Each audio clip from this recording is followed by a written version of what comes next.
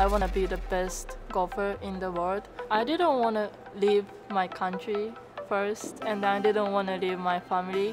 So it was really hard to do that. But the, um, the, my dream was more strong.